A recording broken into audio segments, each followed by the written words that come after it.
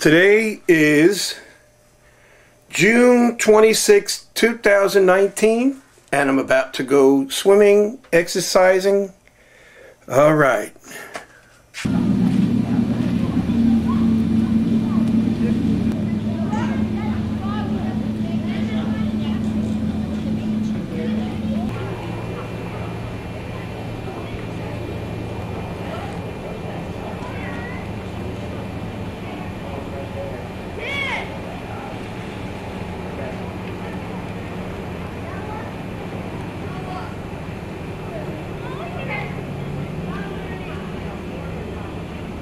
Time corrected to 3:33 p.m. 3:33 p.m.